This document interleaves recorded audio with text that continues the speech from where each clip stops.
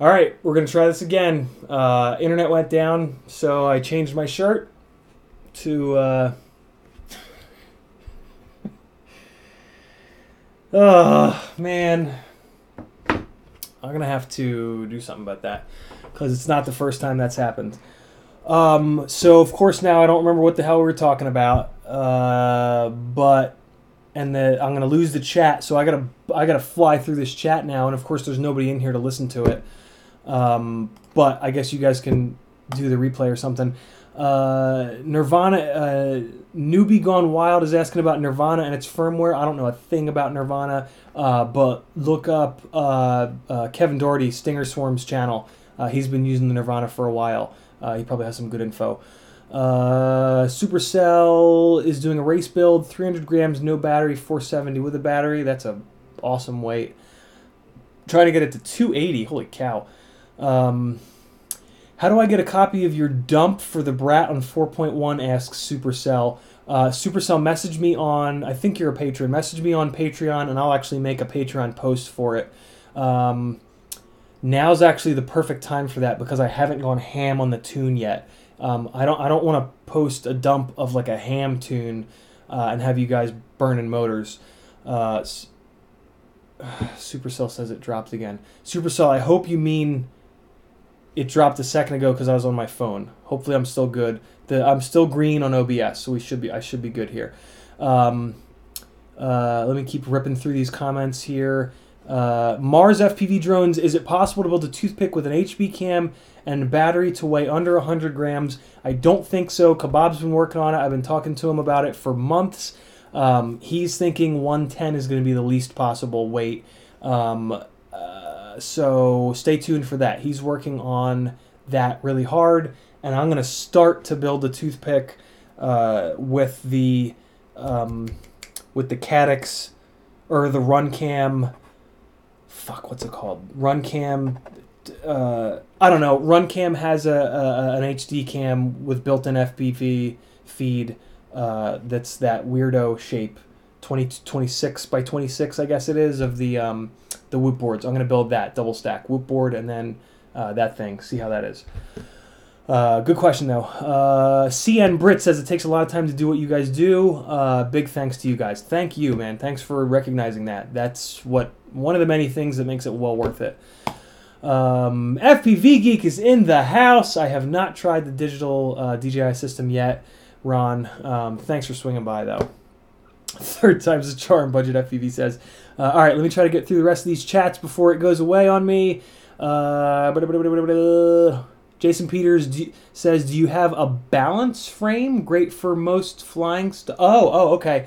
Uh, yeah, the glide, the the glide. If you're asking about five inch, for sure, it's the glide frame.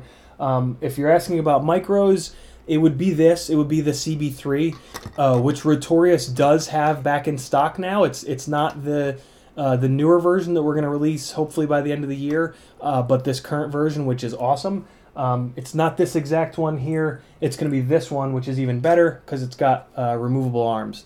Um, so for a micro, this is it for me. This is uh, the one one frame to rule them all uh, frame. This can do freestyle. It can do racing. Um, it's the right weight. It's the right size. The Acrobrat is freestyle specific. You would never race um, uh, with an Acrobrat, uh, but you could absolutely race with this. CB, uh, you know, this is called the CB3, three for three inch props, but the CB stands for Crybaby because that's what all the other racers would do in England, um, where Rotorius is uh, uh, is located. That's what all the five inch racers would become when the guy when Team White Goat uh, would show up with CB3s and whoop their asses. All the five inch guys would become crybabies. So that's where this thing got its name. That's where the CB came from a little inside baseball for you guys. Um, uh, Budget FPV made an order already. Wanted to make another order. Need props for the Xing 1507s. Ordered two down one to go. Awesome. Budget FPV and anybody else who's interested in the Xing motors, um, I have an affiliate link to them. I'm also I forgot that I got set up on Banggood um, as as to, to do the affiliate thing. Uh, where are they? There they are. There it is. Oh no, I have the Amazon. Oh right, because Banggood is out of stock right now. Um, the the Xing motors are cheapest. The other thing I like about this is I'm doing some price shopping for you guys. Um, when I do these affiliate links, I'm going to check on them every so often. Uh, I'm grabbing the affiliate link uh, between Banggood and Amazon that has the best value. Um, Banggood, I, I understand it's going to take them longer to get them to you. So like if if the if the item on Amazon is like a dollar or two more, I'm going to pick the Amazon link because I think we can all agree it's worth a dollar or two to have something in two days rather than two and a half three weeks. Um, so yeah, with with the affiliate links, I'm going to try to keep up with them um, so that uh, you guys are getting the best price with the uh, with the affiliate link. And uh, yeah, there it is. There's my affiliate links to the uh, to the Xing 1507s. I'm more more than anything else right now. I'm interested in like just how the whole thing works. Um, I think it's pretty slick. Uh, so there we go. Let's come back over here and. All right, Bradley Parsons, remembering Project Blue Falcon, pours some OJ, OJ on the carpet. Roger that. Planning BF 4.1 and the 3AF before I scrap the motors. Yeah, Project Blue Falcon is the other uh, is one of the other folks who just gave so much of his own time for the good of the whole community. Um, I I did that a lot with in, in motorsports after a couple years of being into it. I got um, but for me, once I've been into a hobby for a few years, I get kind of good enough at it. I guess you could say where um, I don't have to spend so much time researching it and learning all the technical shit. I already know all that stuff. So like some time frees up to volunteer more. Um, and I love volunteering. The the people in my life that I have met while volunteering have been the, the a lot of the lifelong friends that I have because if you're willing to go volunteer your time for some other cause, you're a fucking awesome person, and that's the type of person that I want. I want in my circle um, of friends. Um, so if you don't volunteer a lot, do it because it's awesome. Um, and you can usually so one of the most fun things I did with volunteering was photography. Um, I would volunteer at like uh, local animal hospitals uh, who had a lot of animals that needed to be adopted. So I would get really good, clean images of these cats and dogs, so that you know because those places don't have an in-house photographer because we're expensive. Um, so they'll just take their iPhone and they'll stand up and point it down through the chain link fence at the dog, and you can't even see the damn dog, um, and they just look pathetic. Whereas you know if I put them in front of a couple speed lights and you know a half decent background um, with some out of focus blur, it's oh my god, you know that dog looks awesome. I need it. Um, so you can usually um, what I'm trying to get at is you can usually take your passions and do volunteer work with them. What we're doing here with FPV is a perfect example of that. Offer to fly around somebody's real estate listing or somebody's business um, to make a slick little edit for them. Um, and what'll happen if you continue to do that a lot of times with volunteer work is it'll turn into money. Um, you'll volunteer for a while. That gives you an opportunity to do um, free uh, free practice, and then you're going to get better and better and better and you're going to get tied in with these people that might have a couple bucks for you. You know, you fly around somebody's business for fun, show them a little 30 second edit, it blows up on their Facebook. They're going to come back to you and say, hey, can you do it for me again? And at that point, you can say, I sure can, but it's going to cost you 100 bucks an hour, uh, 50 bucks an hour, whatever your whatever your personal rate is. Um, so yeah, volunteer. It's awesome, and you meet the coolest people. Uh, all right, almost done with the old chat. Uh, same here. Stream dropped, stream dropped, stream dropped. Gone to the wind. Get it back on. Man, the stream. I was talking for a while when the stream was dropped. God damn it. I, I don't remember what I was talking about because I got so angry uh, when it dropped. Okay, uh, old chat is going away. New chat is coming up here. Let's pop the chat out. Let's get it over here. Let's make the window nice and tall and let's change it from top chat to live chat. All right, cool. So we went from 50 or 60 watching down to 13. Awesome. Thanks, Comcast. You fucking steaming piles of asshole. You piece of shit bastard motherfuckers. Um, Luke Beal, Supercell made it. Budget made it. Mars made it. Uh, Jason Peters is here. Kevin Spaceman is here. Uh, or no, not Kevin. Ken Spaceman is here. That's a great. Is that your real last name, Ken? I fucking love it if it is. Um, it reminds me of Dr. Spaceman from um, from not Parks and Rec, from uh, Thirty Rock. Doctor Spaceman. Um, his name was Dr. Spaceman, but uh, Tracy Jordan would call him Dr. Spaceman. um, all right. Budget ordered uh, the Xing motors. Awesome. You're going to love them, man. Uh, Bugger Mars Bugger missed his answer to my question. Okay, Mars. So I, I was probably talking for ten minutes and answering your question. So ask ask your your question again, and I'll answer it again. yeah, Mars for sure. For anybody that's in here, for the fourteen whole people that are in here, if I miss your question, for sure, spam it. Um, basically, here, let me show you. So here's my setup. Um, I have this window I have the chat window. I pop the chat out, um, and then I make it nice and tall here, like you can see. Um, so basically, if your comment goes all the way off the top of my popped out chat, it's pretty much gone. I, am not going to scroll up to get it.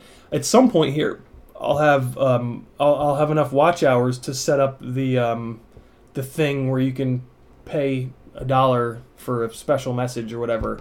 Um, and that puts those into a separate spot to, to make the, the important questions easier for me to get to. Um, but yeah, until that point, just ask it again if, if you think it fell off my uh, this height of chat that I have going. Um, all right. Fair warning, I'm going to cut this in. I got to do at least a little bit of editing for you guys. Maybe not. Um, I have to cut this off because I stream. I accidentally streamed for four hours last night, like two hours the night before. I'm gonna lose my voice um, if I'm not careful. I can already kind of feel it. Um, so I am gonna end this at less than four hours. But let's get into Mars's question.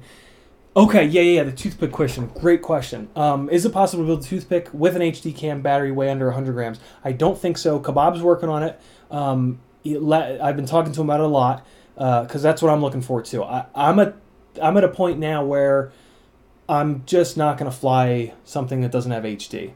Um, it's so it's it's not expensive. It's easy to build them with it now, um, and it's just slick.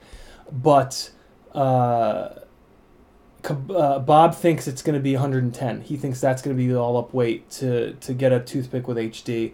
Um, and I'm gonna give it a shot. I have a, a, a new uh, Rotorius frame called the Wemix, which is a nod to the Remix.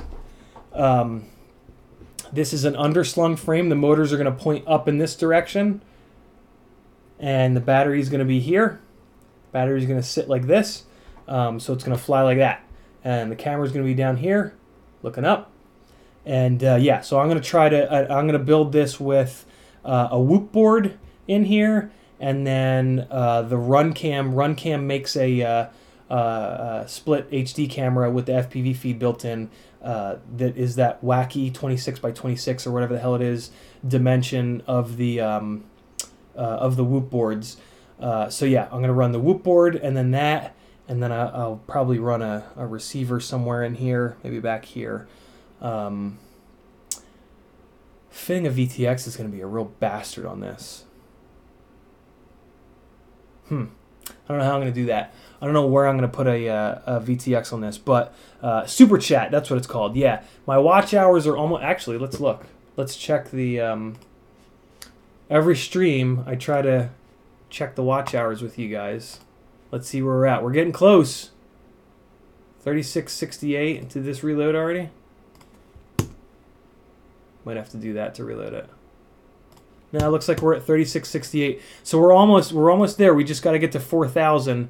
Um, and I'm hoping that this stream and then tomorrow's stream uh, will get me there. Uh, so we'll see. But uh, yeah, there's your uh, Ciotti Watch Hour update for the stream. Um, yeah, great question. I can't wait for the, to, to get this built. This will be super cool. Um, haven't quite decided on motors yet. Uh, but we'll get there. I, I, I, have to buy everything for this. This is also 14 by 14, um, so I literally have to. The only thing I think I have for this is an RXSR. Um, I, I'm, yeah, I'm gonna have to find a really small VTX for this. But hopefully I can get that to that 110 number. Uh, we'll see. Yeah, right. If if Comcast weren't such a pile of steaming shit fucks, maybe I'd be there already. Um, I saw another big chunk of text, which is probably a good question. Uh, oh, here we go. A.R. Dyers asks, uh, "What's a budget micro cam? Seeing a lot of good reviews on the Runcam 2. Uh, I am a big fan of the Runcam Racer 2. This is the same thing as um, this is the same internals as the camera that I have on my Acrobrat, which is the Sparrow. Um, it is it's a it's a camera that basically with this 1.8 millimeter lens and the the 160 degree field of view, um, it's the closest little tiny lightweight five gram micro cam um, that imitates my um, five inch camera setup, which is a micro eagle with an RC25G lens for a little bit of extra field of view. Um, so that's my uh, preferred little tiny cheap micro cam right now is the um, the Racer 2 which is over here on the other monitor. Oh, I have it, the other monitor up. And you can get it in black. I like that about it too. Um, but uh, yeah, uh, the the 2.1. I just noticed I actually have the the uh, the 2.1 millimeter lens on mine, so I'm actually only at 145 degree field of view. Um, so I need to swap this lens out to a 1.8. Um, interesting. I swapped this lens at some point um, from the stock. I, I I banged up the stock lens and I switched the lens out, and I didn't realize that I switched it out to a 2.1. Um, so this rig will become even more comfortable for me to fly once I get a 1.8 in there with that 160 field of view. So that's interesting. Um, although, hold on, let me let me check something. Sparrow 2 Micro. Maybe that Sparrow was different. Let's see. Um, it might be hard to find it because it's discontinued. Um, I think they discontinued it because, as you can see on the front here, the the physical body, like the case of the camera, which is this purple, is like the most minimal thing ever. Um, and go figure, it's very weak. Um, the the racer, the Runcam racer, it has the same board, the same everything, uh, but in a full case that's actually strong. Um, let's see. 2.1 millimeter. Yeah, so see, they went from like 4.5 grams to 5 grams that is well worth it. Um, that doesn't tell me the field of view though. Let me see if I can find any micro. Oh, here, GetFPV. I'll have it. They have a good amount of specs. Yes, here we go. Uh, where does it call out the field of view? Come on, give it to me. Okay, so the Sparrow had. Uh, I'm willing to bet that the Sparrow has a different distance between the lens and the um, uh, and the sensor in there. Um, so even with this 2.1 millimeter lens, I've got 150 field of view um, with this Sparrow, which is why I'm so comfortable flying with it. 160 on the on the Micro Eagle with the RC25G lens versus 150, that's close enough. 140 to 160, that throws me off. Um, but yeah, you'll never be able to find one of these Sparrow 2s again, which is a good thing. Get the Racer 2 and get the 1.8 lens, um, and you'll be golden. Cool. Um, on the on Bardwell's stream, he asked me to put, and I threw the link up there, but um, I don't think he saw it. Uh, for anybody else that's curious, he asked me to, to put up a video of me driving the Miata. Um, so here you guys go. I'll play this really quick. Ah, shit. The music is gonna. I don't care. We're fine.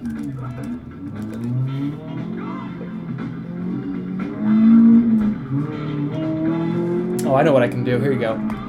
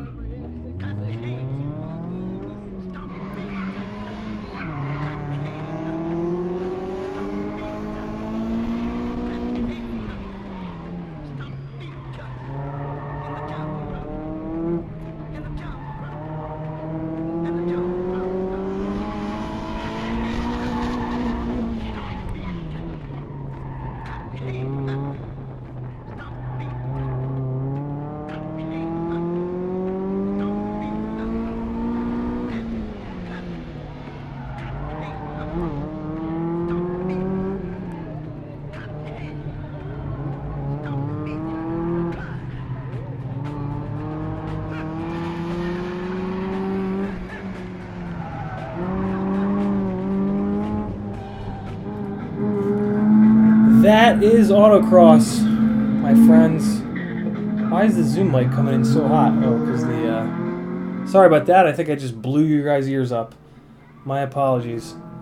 Um, yeah, Ernie was my uh, my wife Kristen nicknamed the car Bert, and uh, so I had Ernie as my. Um, it was basically a G meter. I would I would look at my footage after the event, and basically what ideally what you're trying to do is you come in as fast as you can to a braking zone. You stand on the brake so i would want i would look for ernie to move to swing forward.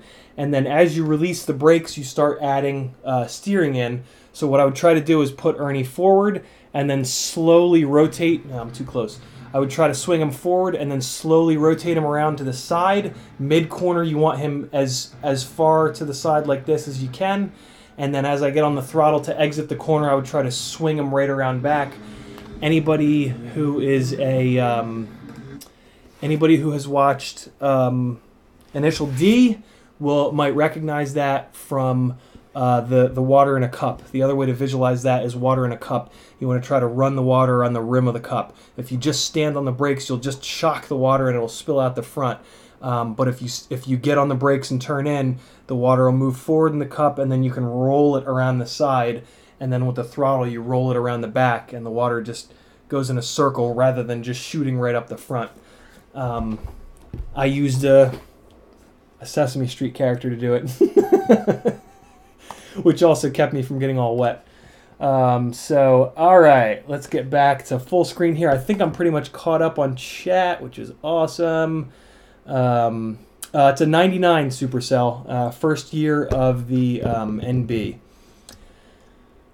uh, oh, you had a 91. Very cool. Yeah, there. Uh, Miata is the car in this country that everybody should own um, at some point in their life. If you have any interest in cars, owning a Miata will completely change your your understanding of what four wheels, seats, and a steering wheel can do.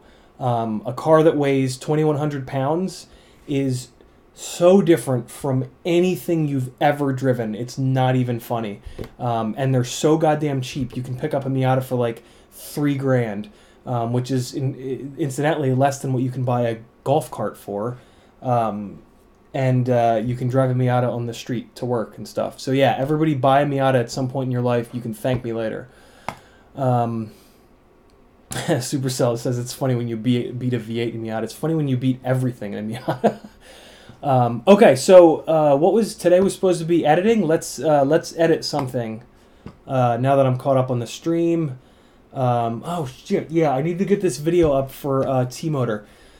Damn it! Um, no shit. No, are you kidding me? Noah used to work at Mazda as a mechanic. I had no idea. That's fucking awesome, man. Righteous. Um, so this is an edit that um, Vivian asked me to put together uh, for their for T Motors 1507s. Oh wait, was there another? There was another question. Ken Spaceman, uh, Ken Spachemin asked me something. Uh, and I think it's the third time he's asked. Midnight here in Finland already. Ken, I hope you're still in here. Um, sorry that I missed your comment. It looks three times. Looks like three times. Um, sorry to make you stay up all fucking night. Um, but better late than never. Uh, will this combo work? Eachine Cinecan plug and play. I think I know which one that is. Um, external RXSR, FrSky X9D 2019. Will the RX just plug into the Crazy BF4? Oh, definitely not. No, you're going to have to solder it for sure. Um, you probably will even want to depin that RXSR. Um, because you want to save the weight. Technically not, but for certain you're going to have to solder to that um, to that bo- uh, whoop board that's in there. I, I can guarantee you that there's not the plug header that the RXSR needs. But I would think that you can get you probably already have the Eachine Cinecan, but um, I would think that you can get a Cinecan set up for FrSky maybe that's one of those boards where when they do it for FR Sky, it's built into the board itself and you get shit range.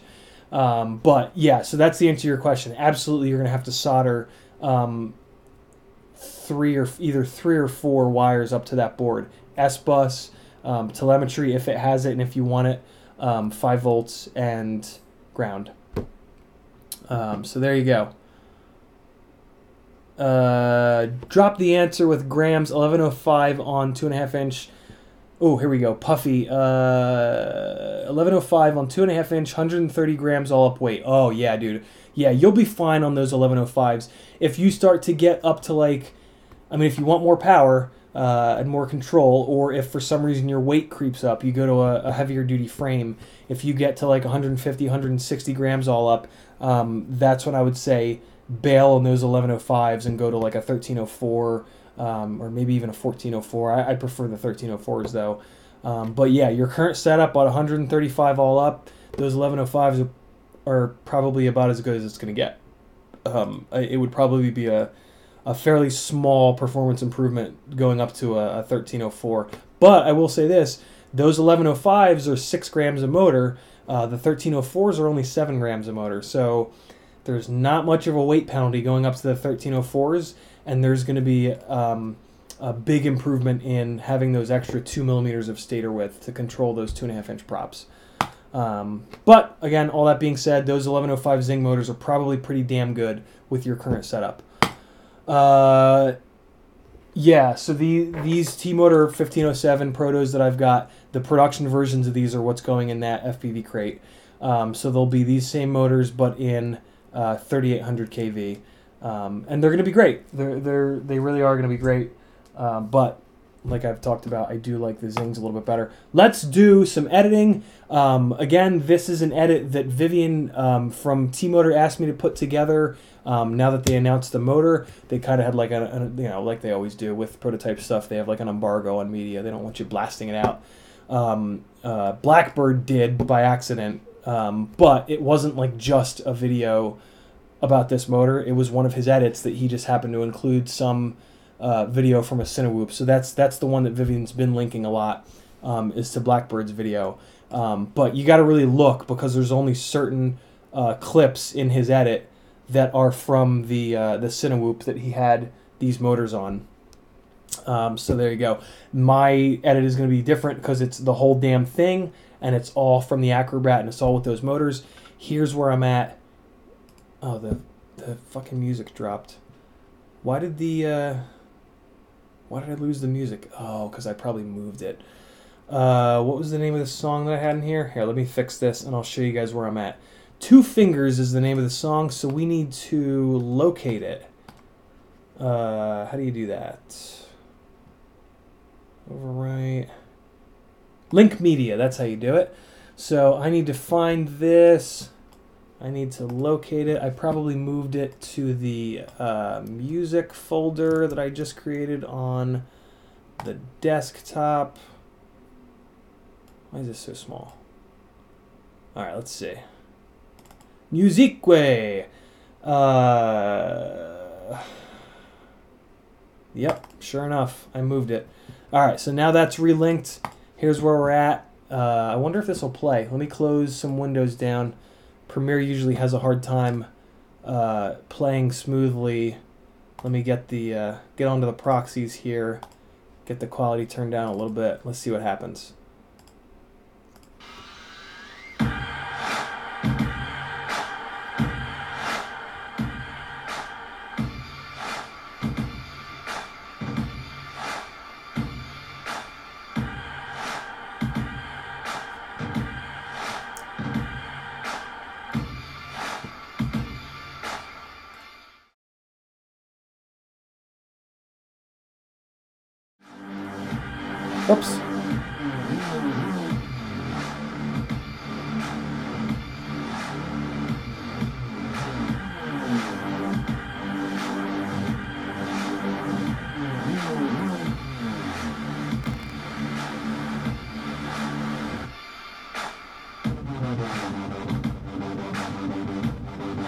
This song fucking bangs. Look at that. Mmm, tasty.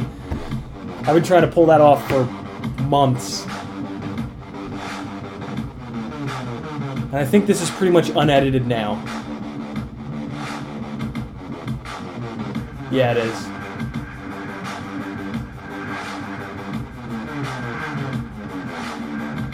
Yeah, I gotta clean this up. Oh wow, this is very unedited. What? I thought I did work beyond that. What the shit?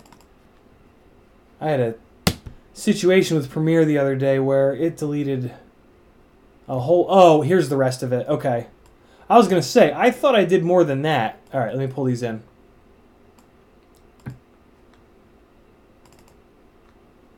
Come on. It's playing nice and smooth. That's nice. I did house block. so nothing's gonna be synced up yet anymore, but with the music at least. But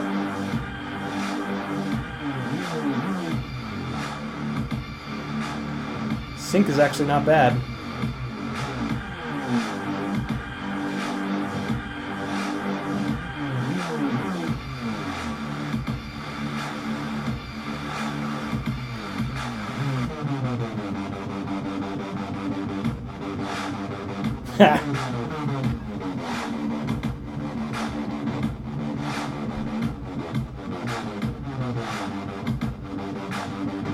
That was one of the few days that I had my car back.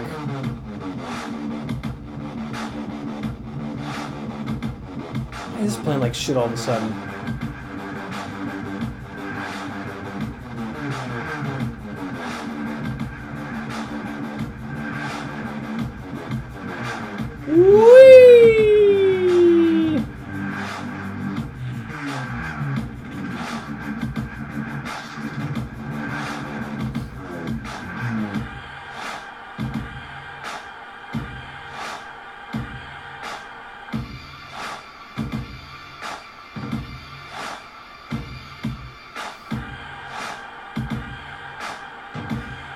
Me all the time, House Block. if any of you guys are wondering where like 90% of the of the office parks that um, Steele, Kevin, Schizo, and all the other Tidwell, Mike Mike, and all those guys fly, I can I can see them here. I can I can call out at least 10 spots right in this that like you know you guys have seen Rotor and just edits from these guys from um, it's all right here. I live like right in the middle of alpharetta where all these alpha, uh, um, office parks are. Like for example um,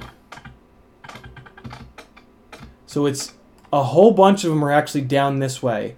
Uh, the the double red buildings uh, the crane is out here somewhere. That tree tunnel that Kevin went down at a million miles an hour is over here. Um, these buildings up here on the top of the hill, those guys have ripped a bunch of times. It's it's just ridiculous.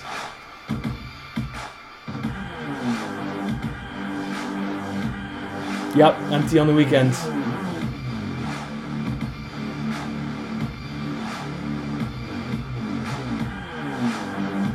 Look at that float.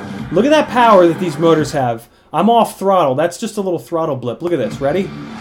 Throttle blip. Oh no, here it goes. Throttle blip off the throttle. Look how long it carries upwards. These motors make big power. Too much. It's too much power. But it's fun. Too much power is fun, but it, it makes flying that rig harder. Literally. Because you've lost throttle resolution.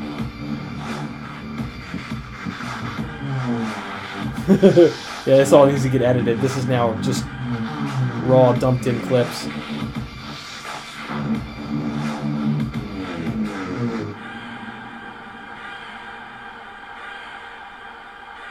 See, you can see there, there's me struggling with it being too much power. It's like every time you see me banging into stuff like that, banging into the top of stuff, that's because the motors have too much power. They have more power than I than than what I want, than what I expect.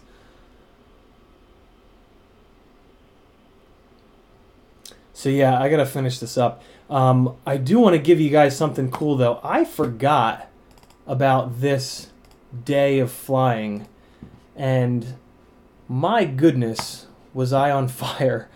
Um, let me just pick a song real quick. But uh, I wanted to give you guys a little sneak peek of this. This is going to be a. Uh, I'm actually tempted to just edit this now.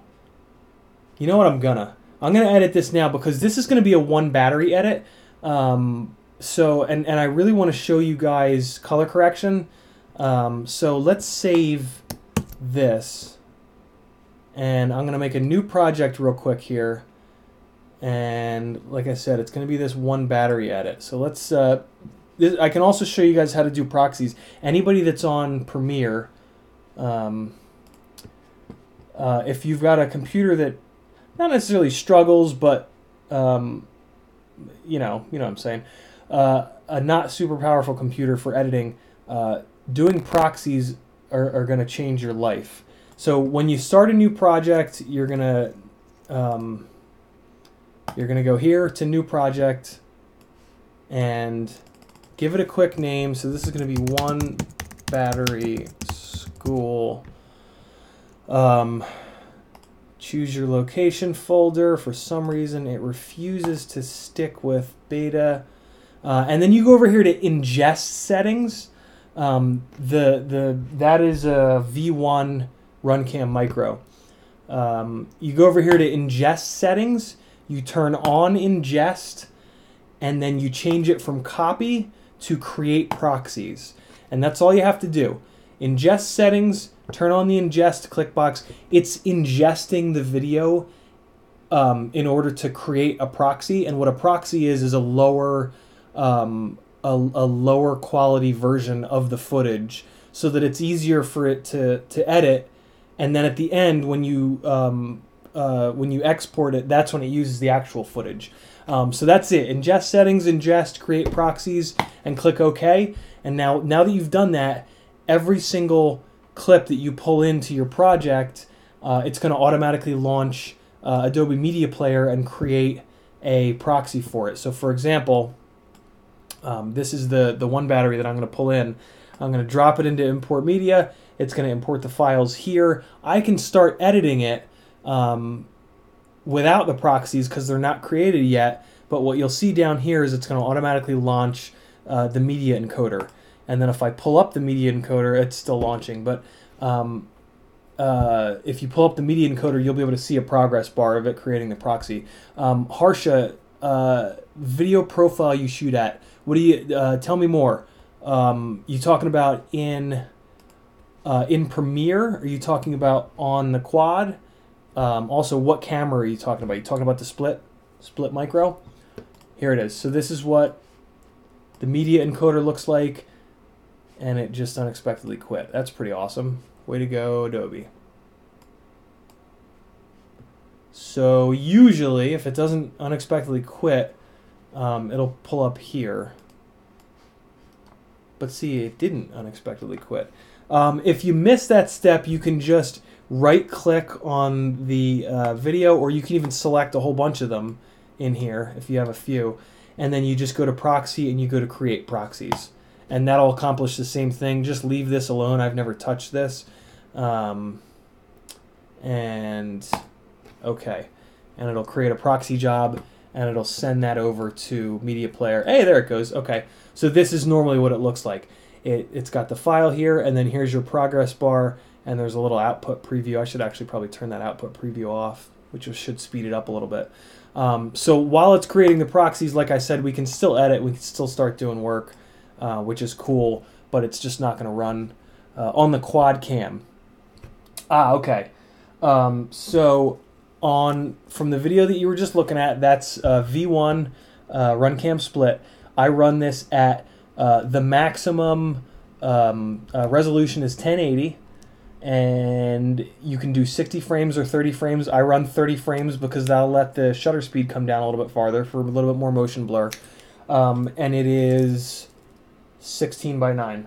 Um, on the Tarsier, which goes up to 4K, um, I'm doing 2.7K 60 frames a second because that's the smallest file size that will run the. Um, oh, yeah, thanks, Supercell.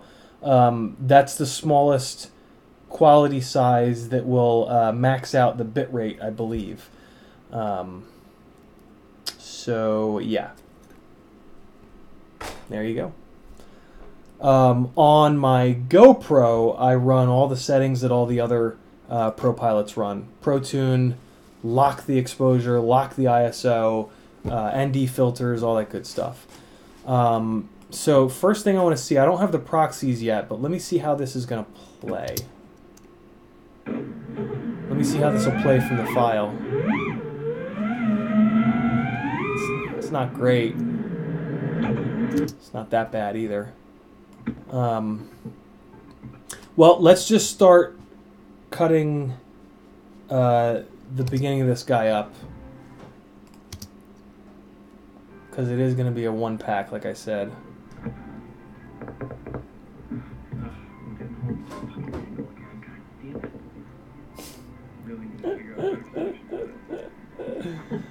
Come on.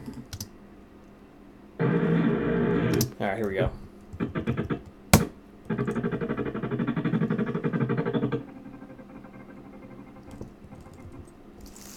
Alright, that's probably as good a spot as any. We're going to ripple delete because that'll pull this back over to the front. We're going to go to effects and we're going to put a video transition in. Um, I just, I keep it simple with my transitions. Simple dissolve. Um, I try not to use transitions as a crutch to have a fun video to watch. I would rather the footage kind of stand on its own and be the reason why you watched and enjoyed. Um, but that's just me. Nothing wrong with doing awesome transitions. I actually wish that I knew how to do them. It's something that I, that I do want to learn. Um, but with editing, there's plenty of other shit to learn. Uh, Ken Spachemin, or possibly Ken Spaceman, says still waiting for gear for all of it from Banggood. Didn't want the short range SPI RX. Yeah, uh, ordered the plug and play. Ah, I gotcha. Okay, okay. Still trying to educate yourself. Um, Ken, I gotta be honest. That's gonna be a tough soldering job. Um, there is information on soldering on the internet, um, on YouTube. Do your research um, and stay calm. I don't have a Discord uh, Mach 3D. Um, I just don't have the time um, it, to to also monitor a Discord. So unless you guys really really want me to do it, um, I will do it. But even if I do it, I won't have the time to spend to be in there a lot. Um, the Facebook group that you get access to when you become a Patreon is where we've been kind of hanging out and bullshitting um, instead of on Discord. Um, so if for whatever reason uh, enough people would rather have Discord than that Facebook group, I'll think about doing it. Um, but in the interim, just use that Facebook group for a spot to chat with all the other patrons and post pictures and talk shit. Um, ooh, nice Mars. Be good. Mars has a NewBeeDrone, BB Light. Very very cool.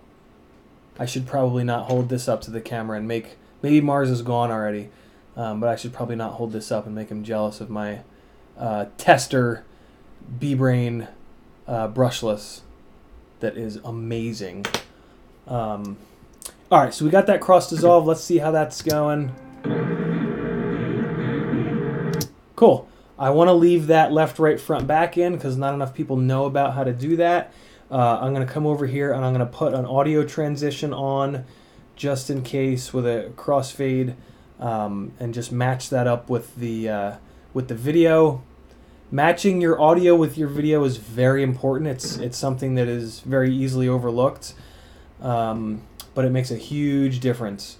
Uh, okay, so I'm also going to bring the volume down of the quad.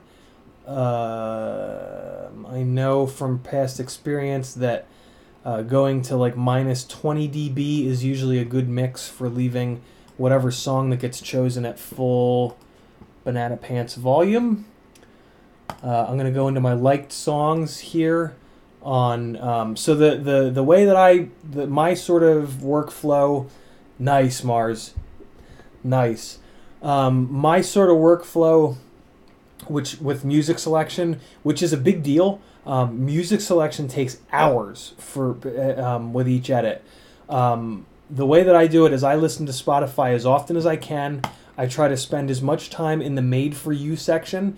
Um, there's these daily mixes, which just kind of um, guess at songs that are similar to what you already listened to. Um, and then I also use the Discover Weekly uh, as much as possible to just find new, fresh stuff.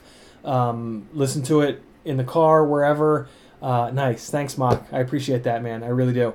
Um, so use them as much as possible. When a song that I like comes on from here, I will hit like uh, or the little heart or you know whatever.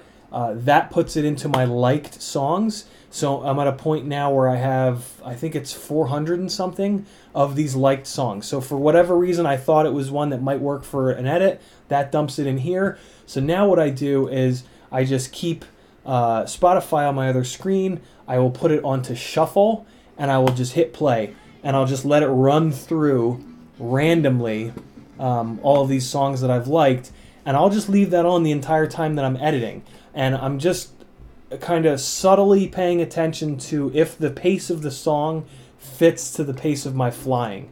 Um, so we'll actually do that now, and I'll just let this run because I want. Well, let me pick a song that that somewhat fits. Oh wow, I was idling on the ground forever. Uh, let's fix this first. So I'm going to pick the last frame that kind of looks the same and I'm going to cut there.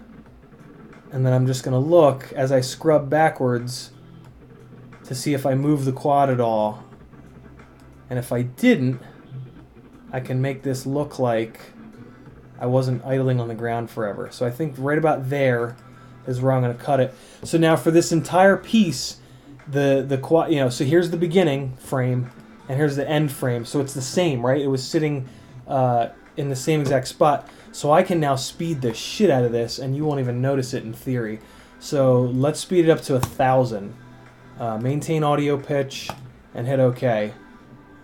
And it drives me insane that it does this, but it's just a quick ripple delete. So now, let's see if we can tell. If there were like birds flying by, if there were clouds or something, we'd be able to tell, but we don't have any clouds and I didn't see any birds, so uh, I'm just giving the audio a second to catch up here. The little red bar tells me it's working. Now let's just do it. Let's see what happens. See that? Can't even tell. Can't even tell that I was idling on the ground for that whole time. So we've got our little make sure the props are on correct, front, back, left, right test. And then that just boom. And then we just take off. Uh, this song is a little too gentle. I was flying pretty hard for this. So I'm going to look for something that's a little more upbeat. Uh, I'm also looking for something that kind of gets right into it. Uh, but let me check that real quick. Most people ditch after about a minute or 30 seconds. Um, so the first 30 seconds of your video has to be on. There, you, you gotta, you gotta grab somebody quick if you expect them to watch the whole thing or if you just want a good quality product. So see how quick I really start flopping around. I want a song that's going to kind of get get to the point. Um, it is Spaceman, like in space. Nice, very cool. Hey man, thank you. Thanks for hanging, uh, Ken. Get you some sleep because I think you said it's like midnight. and uh, I'll see you next time, man. Uh, this song is not getting it done. Like I said, I need something that gets right to it. So I'm just going to track forward on the songs and skip like 20 seconds in to find something that really. Ooh, I've been wanting to use this one. Oh, this is going to be a bad one pack. Shit, I forgot that I did this. I don't like that I crossed the road. Alright, so much for that. I can't have this as a. Uh, as a straight up one pack. It's to have to have edits. Maybe I can just edit that little section out. Let's assume that I can just edit that little section out and we'll keep going. Alright, still looking for a song that gets going early. Let me do one better and I'll get a, uh, a time code from when that first big movement is. Because that's really where I want the song to be uh, coming to life. Oh, it's early. Jesus, that's only six seconds in. That's gonna be tough. Most of these dance songs ramp up a little bit slower.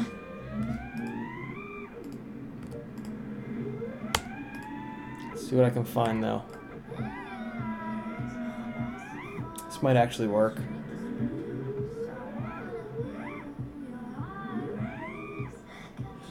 I want to get to the color correction part of this as quickly as I can for you guys. Um, because that's what everybody always asks me about. Yeah, see, I have to edit this out. I can't be fucking. It, it was totally dead when I was doing this, but I, I don't want to put up something public that's got me doing that. That's that's uncalled for. I mean, I shouldn't have been doing it in the first place. But uh, you guys know how it is. Oh, wait. I can also cut the front off of some of these songs.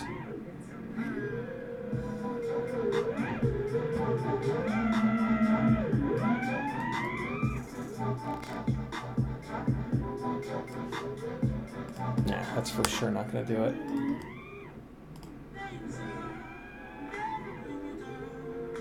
Ooh.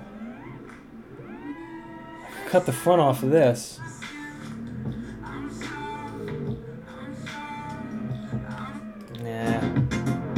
Oh, now we're talking. Perturbator to the rescue. Oh, this might be it, guys.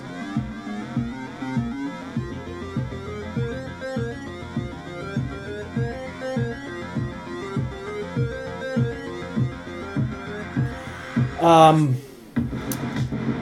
the spot is not good enough not necessarily good enough, but the spot doesn't match the tone of this. This is a song for like a night flight or something, I think.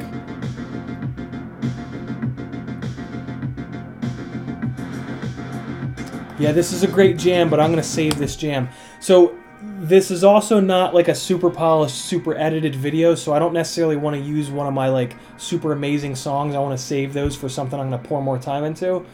Um, so I'm not gonna I'm not gonna uh, waste that song on a one pack. I feel like I've used this song before, but if I haven't, this might be it.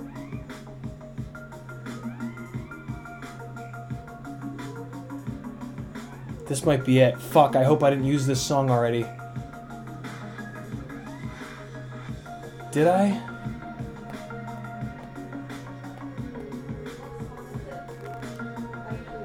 Bassnectar, Arps of Revolution. Let it play. I remember most of what you play because I'll hear it over and over and over and over again. So Me too. I don't think you used this. So Yeah, I think I'm safe. you're safe. Let's just see how it mixes a little bit more, though. Let's see here.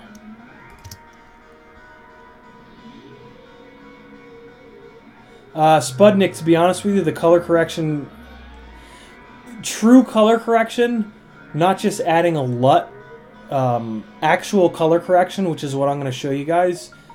It doesn't matter what it's coming out of. It, it's just troubleshooting problems. Um, so doing it with this GoPro session footage is, is going to get you just as much knowledge as if I did it on uh, RunCam split footage. Maybe even more because this is filmed in flat, flat colors, um, which you have to push harder with the color correction.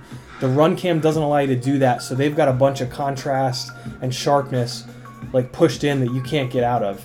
And I'm to do that manually here. What's up, kitten? I'm to do that manually here.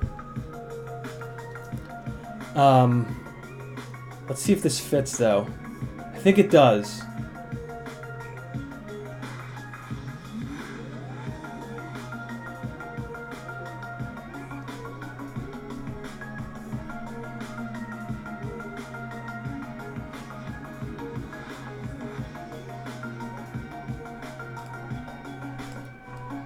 Yeah, that's pretty good.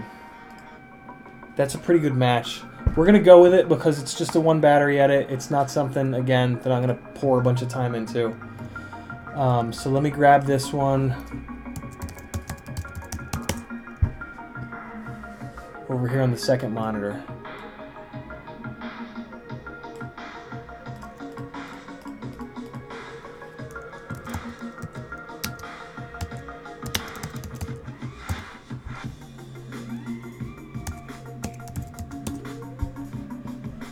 What do you guys think about this song? Does it match up? Can you even hear it? Is it loud enough?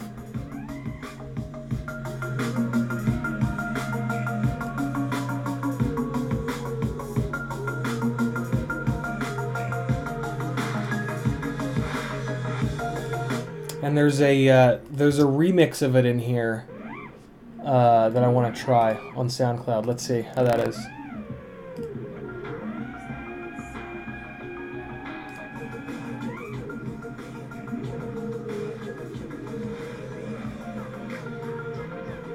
Nah, I don't like it.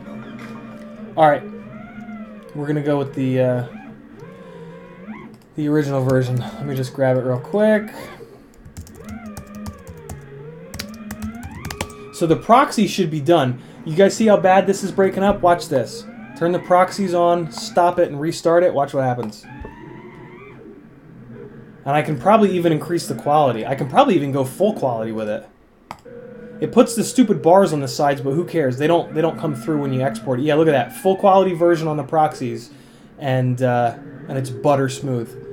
That's what the proxies do. If you're not using them, start. For sure, start. And if you're on like DaVinci Resolve or Final Cut Pro, um, look up how to. Wow, there's a bunch of oscillation there. Um, look up. How, I'm sure that they that you can do proxies in those. I'm sure of it.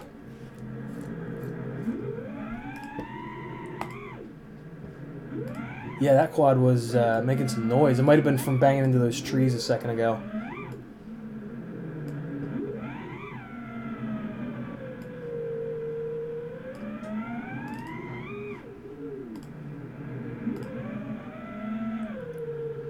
All right, so let's pull this in here. Oh, I gotta get the, uh, gotta get onto my project view. All right, let's pull the music in and get that on audio too. All right, back into it. Here we go. Uh, where'd the chat go? Hold on. I lost my chat. Where'd you guys go? There you are. Okay. Um. Oh boy, I gotta turn this down. Jesus, that would have been horrendous.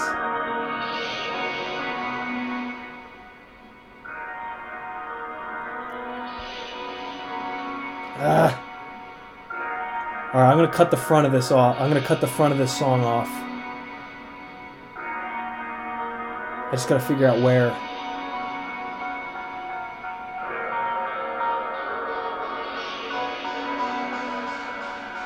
Probably somewhere up here.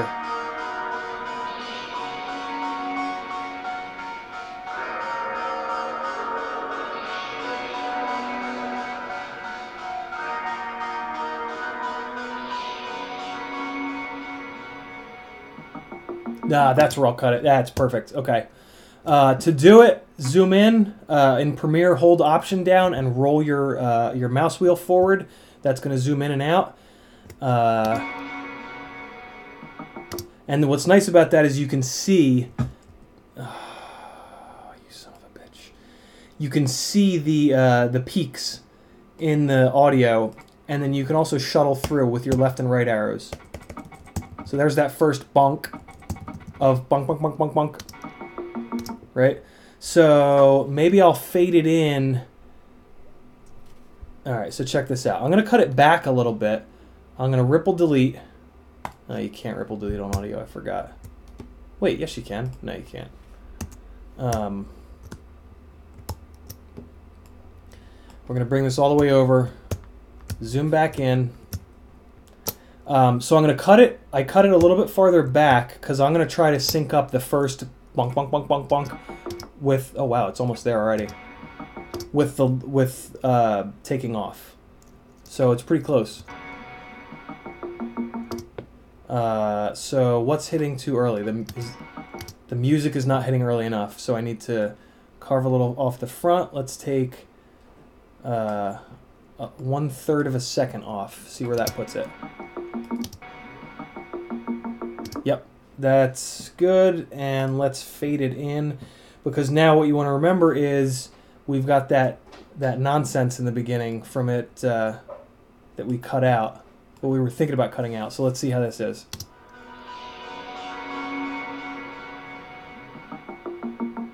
That'll work.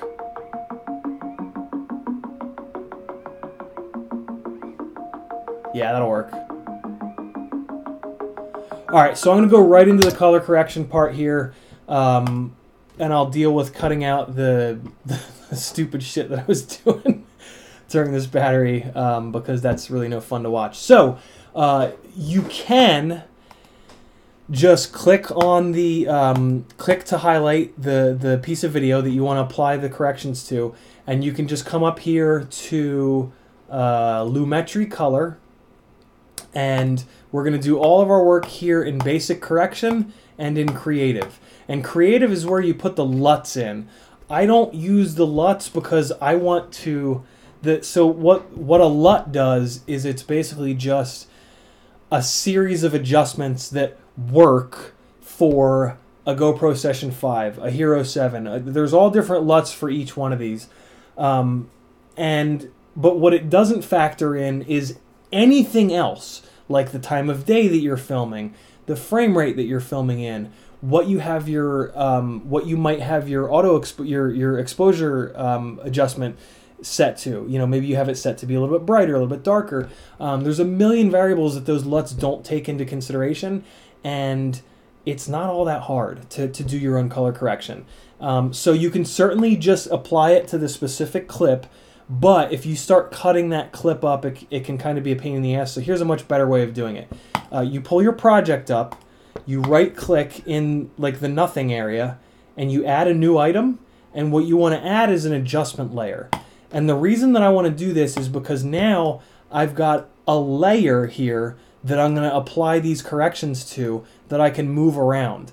So like if I if if a part of my clip goes really dark, I can put a second adjustment layer and just brighten up that dark portion and then I can put another adjustment layer for the bright portion. It just gives you way more um, freedom and it also allows you to turn that layer on and off, to move that layer around. It's just a much better way of doing it. So um, always do it this way. There's literally no reason not to do it this way. Uh, in this case, since I'm trying to keep this quick, I'm just going to apply this to the whole goddamn thing. And all that means is dragging it to the full length. And all right, so now the next thing that I want to do, I try to pick a frame that, turn this down a little bit. I try to pick a still frame um, that has darks and that has lights. Hopefully, the darkest darks and hopefully the lightest lights, uh, which I might have just kind of fallen into here. Um, so I've got the brightness, the brightest brights are going to be the sky looking into the sun, which I've got, and then the darkest darks here are the shadows in these trees. Um, the only problem with this frame is there's a lot of motion blur. Um, there's a point where I'm going to push uh, sharpening in. So let me see if I can find a frame where I'm not moving quite so much that'll help me uh, tune the sharpening in, and that's probably going to be this big pat. Yeah, there we go. So that big overhead pass that I did, nice and slow. So we're looking right at the sun. That's as bright as bright is going to be, and then we've got these shadows over here in the trees. That's going to be my darks. So um, when you film on GoPro flat, this is what you get. It's a flat, uninteresting, kind of blah uh, image. But what's nice is it. The whole point of it is that it didn't apply its own um, it didn't apply its own saturation adjustment, contrast adjustment. It this is like what the sensor on the camera saw, and then we, with our human brains that work really well and that aren't tiny inside of a little fucking GoPro, we're going to use our big old human brains to make those adjustments. So that's what color correction really is. It's it's just fixing all of these things brightness, exposure, contrast, saturation, um, sharpening, all these good things. Um, and like I said, they are scene dependent. They're, they're very dependent upon the day, the time, the, uh, the settings, all these good things. So um, let's start improving. First thing, now the, the first thing is what's wrong with it? Like, what do I want to do to this to make this better? So, and, and that's what's hard. Um, I'm very lucky to have done photography for 10 plus years. Um, and in post production on photography, it is these exact same adjustments. Uh, that's why I'm on Adobe Premiere, is so that I can have as much commonality to Adobe Lightroom and Adobe Photoshop, because those what I've spent those are what I've spent thousands of hours on uh, over the last decade plus.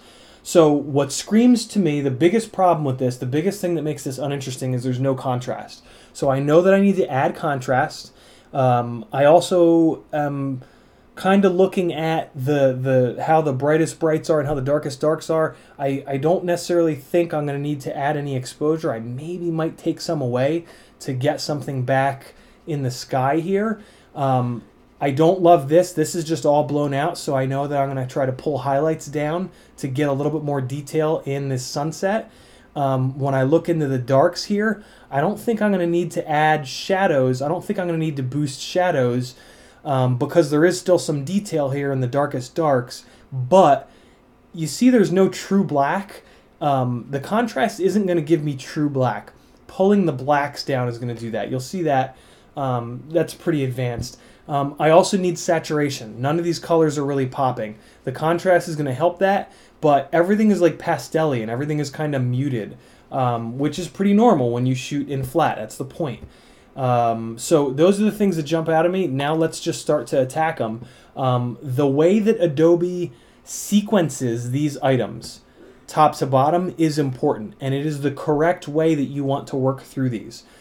So you want to adjust your temperature first, then your tint, then your exposure, then your contrast, then your highlights. The reason they've put these in this specific order is because most of these affect some of the other ones. And if you do them in this order, you have the best chance of not having to constantly go back and forth and back and forth and back and forth. For example, when I get down here to the highlights, I might need to adjust the exposure from the adjustment that I make in the highlights. Um, but if this was the other way around, the highlights were first and then the exposure, I can guarantee you I would need to go back and adjust the highlights after adjusting the exposure. But this sequence that they have, there's a chance that by adjusting the exposure first, the, the adjustment that I make to the highlights will be fine and I won't have to go back and adjust the exposure. So always work top to bottom. Um, it's going to give you a much better result. So first thing I'm going to dial in is the temperature. Luckily, I've got gray concrete, which is really nice. Um, gray concrete is going to serve as my gray board. So I'm actually able to take the eyedropper here and put it on the gray concrete to, to get an idea of where I want to go with the temperature and the tint. So this went a little too green. I don't like how green this is. Um, so I'm actually going to take some of that out here just to kind of equalize it. And to really see what these sliders are doing, go extreme. Go all the way to the extreme and you're like, oh, okay. So that when I move this to the left, it bumps a lot of the greens. When I move it to the right, it bumps a lot of the magentas.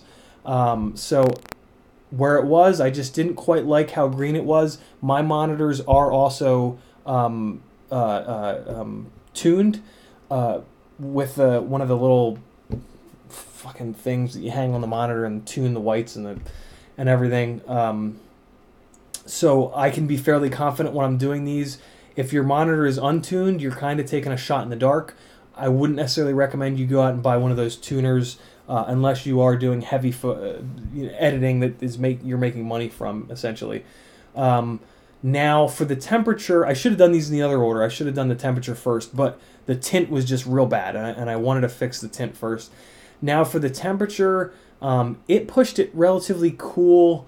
Um, it is afternoon uh, sunsetty. What I, what I'm going to look at as I move this around is what happens to the sunset. The sunset is very blown out, um, which is fairly common. Uh, I was this battery was a little late in the day. Uh, if I'd flown this a little bit earlier in the day, it wouldn't be quite so blown out. There'd be a little bit more even of a light on the ground versus in the sky, but that's okay. Um, so I'm going to set this temperature as per what looks best in the sky.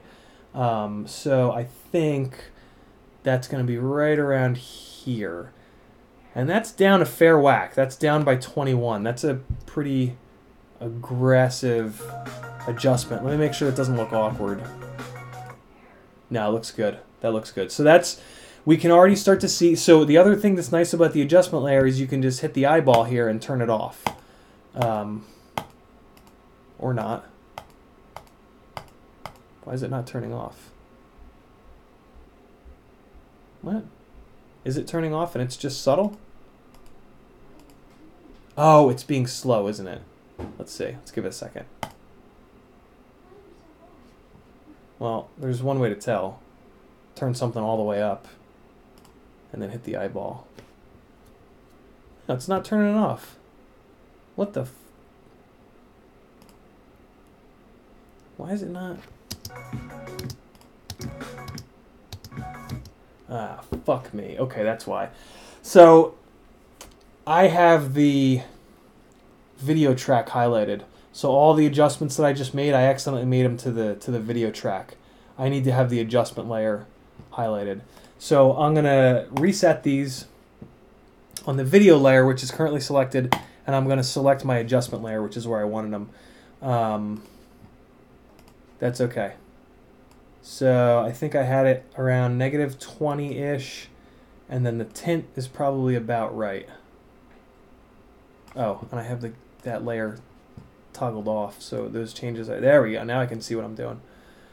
All right, so I'm gonna go until it's green, and then I'm just gonna pull it up towards the magenta or the pink, and okay, basically no adjustment, but there is a definite temperature adjustment that I made. Um, so now I can.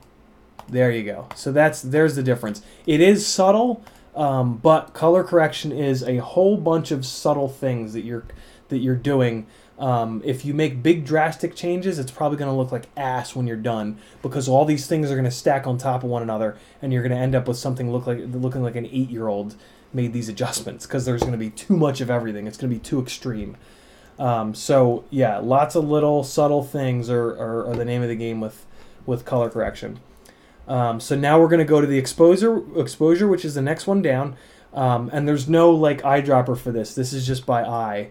Um, so when I pull it up, I get some more detail in the shadows. I do actually kind of look like the look of that in the shadows, but I, I don't have uh, much of the, the sunset in the frame here. So let me just back up a little bit.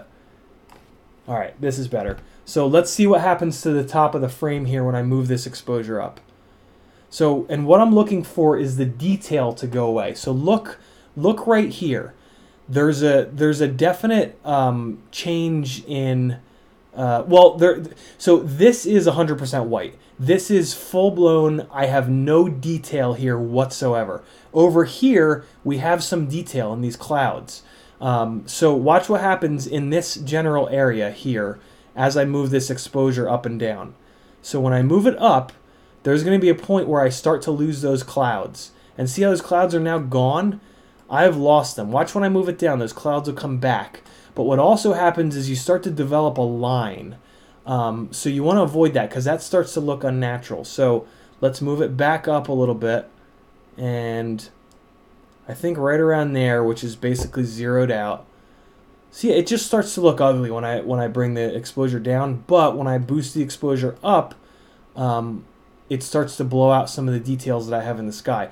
And now the highlight adjustment is going to start to get them back, but we want to get the exposure um, as close as we can across the whole scene because that's what the exposure is adjusting. It's adjusting everything. So I bumped it up a little bit because that makes the trees look a little bit better. Um, I'm going to leave it there, and if I need to come back to it and pull it back down, I can do that.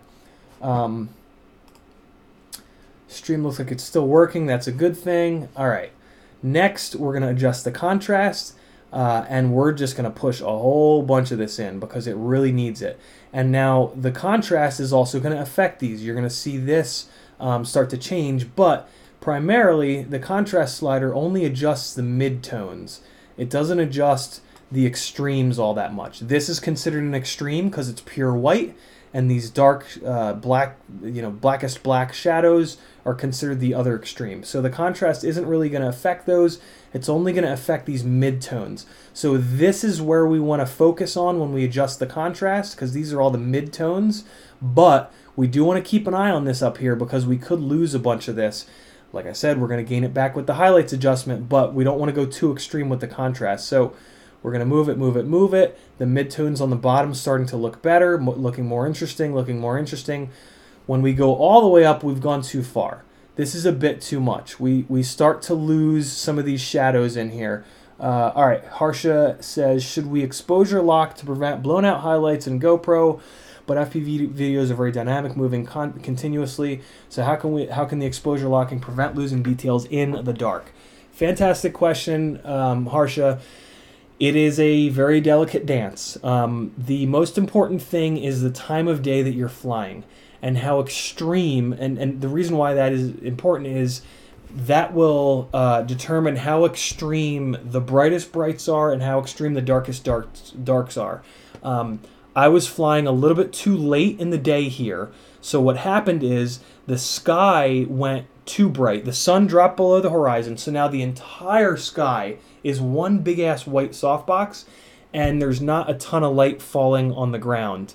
Um, so the ground will go really dark. So in this scene here that I was flying, locking the exposure would have been really tough because I would have either had to pick where the ground was exposed properly and the sky was totally blown out, or the sky is exposed properly and the ground is all black.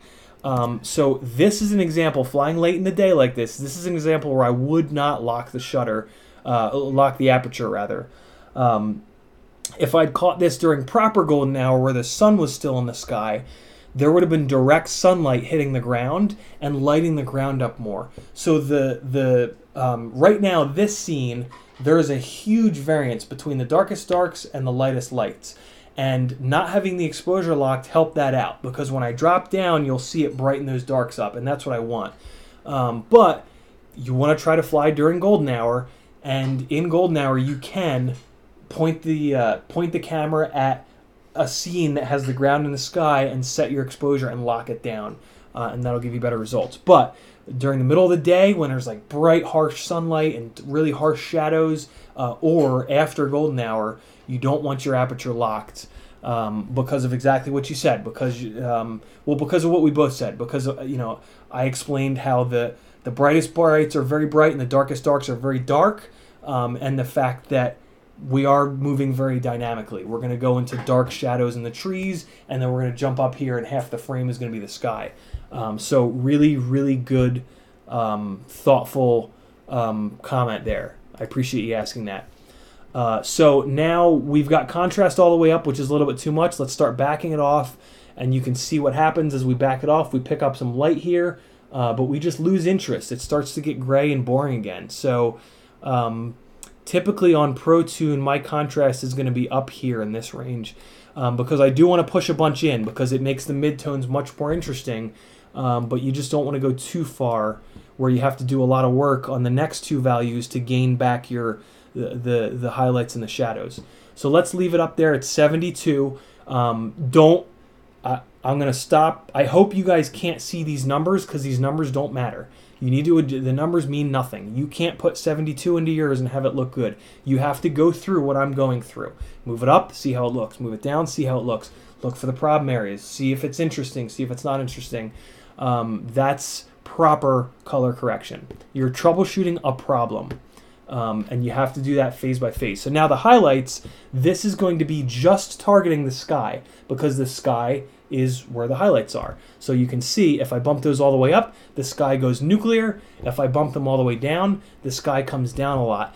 And that actually looks pretty damn good. See how it pulled those blues out of the sky and it pulled those clouds in? Usually when you pull the, the highlights down this far, it really starts to look bad. So here's the problem with pulling the highlights down really far. Over here on the roof, this is a mid-tone, but we've moved the highlight slider so far that it's starting to affect that mid-tone. And that's a scenario where we will bump back into the exposure and we'll add exposure to get those mid-tones back. Um, so with this highlight slider, we want to just focus on the highlights, but we don't want to throw out the rest of the scene. Um, so I don't necessarily want to go negative 100. I want to just bump up a little bit um, just a little bit, and you can see that roof kind of lightened up. So we ended up basically minus 80. Um, now we're going to go to shadows, and now for the shadows, we're going to look down here specifically at the darkest darks in the shadows of the trees. So let's start pushing the shadows up to try to gain those back. Well, I'll go all the way so you can see. So there's the drastic example of what it does when it's all the way up, and there all the way down. That's the best way to see what it's doing. And, and you can see up in the top left and right corners, yeah, it's affecting that, but not much. You want to look at and adjust the areas that it's affecting the most, which I think you guys can pretty easily see are these trees here on the left that we were just talking about, because that's where the darkest darks are. Um, so there's in the middle. We're going to bump it up a little bit. Uh, that's about halfway. When we go all the way, it's just way too much. Looking up in the sky to see where there's the least loss in the sky, and I think that's right about there. So plus 40, that's a pretty good, that's a pretty strong adjustment there. Now, next two are whites and blacks. This adjusts the very ends of the whites and the blacks. So now, what this is going to affect is right in the middle here. This is 100% white, full, you know, this, it's where the most light is coming from. Um, and then the blacks are going to adjust the very bottom of the blacks here. And what you're trying to do with these two is you're trying to make sure that you have 100% white somewhere and 100% black somewhere. So, for example, if I boost this white all the way up, it's going to crush the sky. But the main thing it's going to crush is the middle of the sky because that's where it's pretty much 100% white. If I pull it all the way down, you can really see what it's doing. It's taking that 100% white and it's just dumping it down, and it just looks like ass when you do that. You almost always want to move the whites up a little bit because when you when you pull the highlights down, you start pulling those those 100% whites all the way down. But the proper way to tune this is to look for the spot in the scene that you would think would be that you, that you want to be 100% white and you want to see that spot not change. So like I start pushing this up and that's basically dead center here where the sun is. And when I move it down, you see how it's changing? It might be hard through the stream, but as I move this down, that 100% white does change. And we don't want that. We want it to be 100%. So whatever the value is, where that whitest white stays the same, you want to be towards the bottom of that value. And I think that's right around here. It's going to be very hard for you guys to see that through the stream because it's just obliterating the quality. Um, but is the best I can do. Here, I can make this a little bit bigger for you guys by pulling that down. That's interesting. All right. Uh, so now we're going to adjust the blacks. We're probably not going to have to touch the blacks because I can already see in here that that's pretty much true black, but we'll go through the same exercise. We'll move it all the way down, all the way up. Uh, and you can see when I moved it all the way up, all those hundred, you know, blackest black in the scene, that's now gray and horrible looking. Um, so be careful with the black slider. If you pull this down too much, it'll look good in this um, in, a still image like this but when there's motion it can look really bad so just be very gentle with this blacks adjustment um, it only usually needs a little bit i'm gonna i'm gonna just do negative like two negative two negative three um, so i don't so, because again the blacks weren't the problem the, the the lights were the problem so we pushed the whites and the highlights harder than we pushed the blacks um, so there we go. There's the top one, two, three, four, five, six, seven, eight sliders that make the majority of the difference. We'll look at a before and an after. Again, it's subtle. We want to correct problems. This is the before. We've got something that's not color balanced right. There's really no whites in here. It's just kind of like dingy colored. It's kind of gray. There's not a lot of contrast. And then we turn this on, we get our contrast back. We get white whites. We get some actual blues in here. Um, I think I do want. Uh, so I will spend a lot of time flicking back and forth, just kind of looking at different parts of the image. Look at the roof, see what happens to the roof. Look at the trees, see what happens there. Um, these midtones here are not really like popping as much as I want them to, so I'm going to push a little bit more contrast in. Um, I might even push a little bit of exposure in yeah, a little bit a little bit more exposure. That's kind of working, and it's still not killing the sky. I don't think. Let's see. Before oh yeah, it is killing the sky. Um, all right, I'm gonna back that exposure off because that really affected the sky in a way that I didn't want it to. Um, so now we got the the corners of the sky back. That's good. Keep flipping back and forth.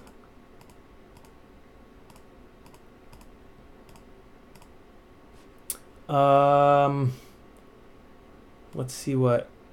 Man, the sky is really nuclear, and so the whites are not affecting that.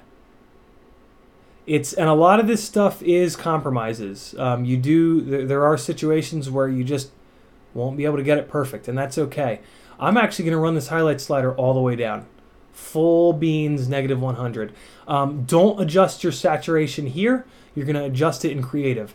These are the only ones that you want to do in the basic correction Um, and if for some reason you want to put a pre-cooked LUT in, here's where you do it.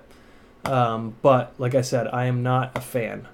So now we're going to go into creative, and this is where we're really going to get some some some interest um, into the scene. Basically, in the basic, we're correcting problems, and now we're making it look more interesting.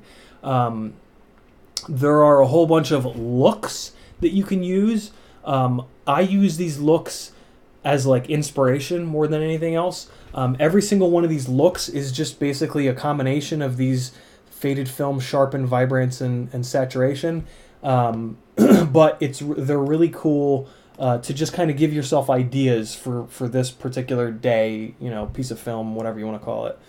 Um, so let's come down here to to go through these quickly. Uh, put your your left hand on your up and down arrows and your right uh, mouse pointer over the look, and you're gonna click down arrow and return. Like your your pinky can hit return, and your like your index finger can hit the down arrow, um, and it just lets you flip through these quickly to see if there's one that because there's a million to see if there's one that kind of jumps out at you. So here's a really good example, right? Oops, fuck me. Hold up. There we go. Okay, uh, so you see the sky? It's totally blown out. I go to one one look above it, and I got my sky back. Um, because the looks are also adjusting the um, the exposure and whatnot. I forgot about that. Um, again, just giving yourself ideas. You're just trying to get ideas with with doing this. Um, as to some color corrections that might look gnarly. You know, maybe a blue filter makes uh, this the roof of the building really pop. God damn it! I keep hitting. The down arrow goes to um, the uh, the previous. Yeah, see, that's got a bunch of green in it. Maybe on whatever you're working on, that green makes it look really cool. Um, again, I just use it as kind of inspiration. I don't typically use these, but if one is really looking good, I'll I might use it. I just turn the intensity way down on it. These uh, the the the hundred intensity is like a lot on the majority of these. Just seeing if anything is super interesting. Oh, that was kind of cool. It's got some purple in it. That's kind of neat. That really brings out the uh, the blues of the skies. Uh, what's that? SL neutral start. So and then with the intensity, we can turn it off and we can add it in slowly. So with it off, it's okay looking. We add it in a little bit. You can turn all the way on and see what it would look like if it's there's way too much of it. So I kind of like this one. I, I kind of dig what this is doing. So I'm going to leave it on. I'm going to pull the intensity up just a little bit here. Uh, I think that's about where I want it. Okay, so now to the real adjustments. Um, these are what you want to spend most of your time on. Sharpening is tough um, but typically, if you you want to set your GoPro on and anything anything that's collecting HD footage, you want to set that on low sharpening, the lowest possible sharpening or no sharpening, um, because you want to be able to manually do that here. So it's but it's very uh, it's very sensitive, and what you're looking for is like the aliasing and the jaggies. Uh, so like I'm looking here because this is a diagonal so as I increase the sharpness, there's going to be a point where it just starts looking like ass, and that's happening pretty quick here. Um, so I'm not going to be able to add much sharpening. Uh, I'm going to keep backing it off until I see that garbage go away, and I think it's right about there. So yeah, I was only at, only able to add three. That's pretty normal. Uh, vibrance and saturation is where this is really gonna um, come alive. So if you put the vibrance all the way up, you can see what the vibrance is doing. It's it's attacking blues and purples, and uh, not doing much to the greens on the left side there. Uh, and there's a bunch of blues and purples in the background there in blocky horribleness. Um, and it's also affecting the yellow. Look at the yellow on the horizon in the sky. It's also affecting that. So 100 is obviously way too much, but you can be pretty aggressive with the vibrance here. So let's go up quite a bit. Um, if you go up too much, it's going to make those blockies, uh, the, those blocks and that garbage way more noticeable. Um, that's a bitrate problem. The the Hero 8 has an option to go 100 bitrate that I'm really excited about. It's a shame that the lens isn't replaceable though. But they say the lens is way stronger, so maybe the lens it doesn't need to be replaceable because it won't break. So I'm going to leave the vibrance there. That's a lot. Um, I'm actually going to back it off a little bit because we're about to add saturation. I'll back it off to 50. Um, saturation stacks on top of the vibrance, but it affects different colors. And again, if you put it all the way up, you're going to see the different colors that it affects. Mainly it's the green. On the left side here in the trees, you can see the saturation is, is affecting those. It's also affecting the uh, yellow. Technically, it's affecting everything, which you can tell by turning it all the way down. We turn the saturation all the way down, you get black and white. Um, so, yeah, saturation is kind of doing everything. An oversaturated edit, we've all seen. Um, the the um, a lot of these Runcam and Foxeer and Caddx cameras have way too much saturation pushed in them um, from the factory because that makes it poppy and exciting and um, but it also looks like ass. so uh, be gentle with the saturation. Uh, I'm gonna maybe go up here to like 20s or so.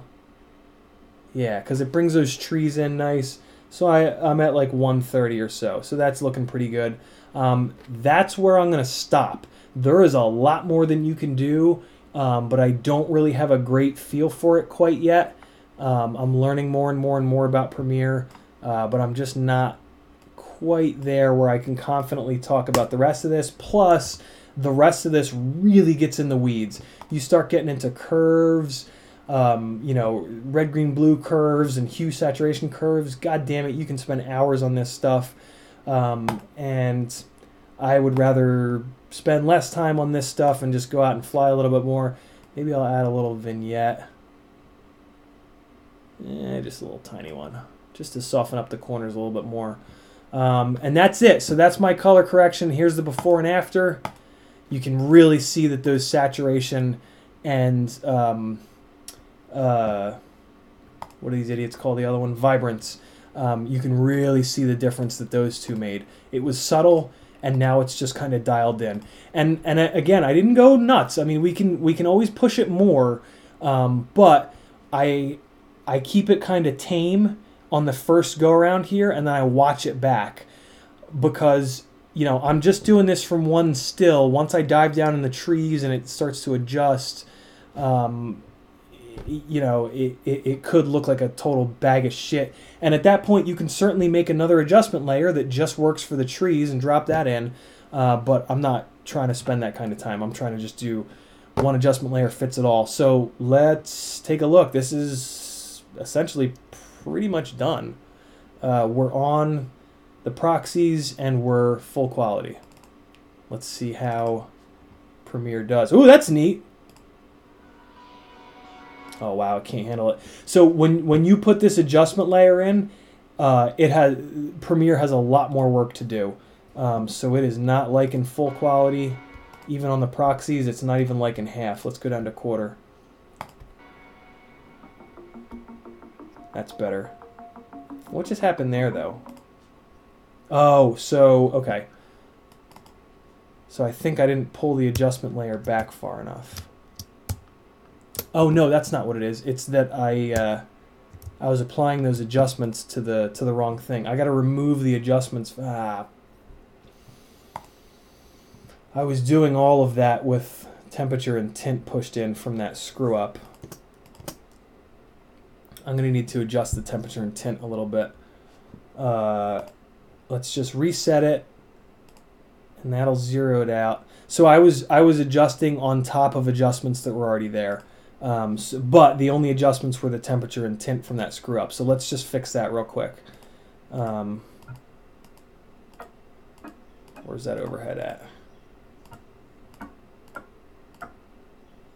Come on. Oh wait, it's way over here. There we go. That'll work. Um, now let me rotate it around. I want the building in there as well. There we go. Okay, so let's let's fix the temperature and the tint.